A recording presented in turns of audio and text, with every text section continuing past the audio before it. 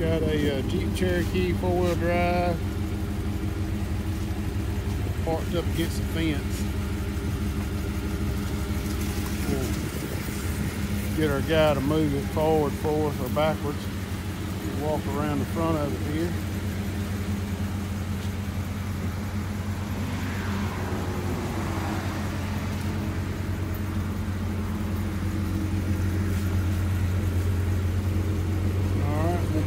Back up.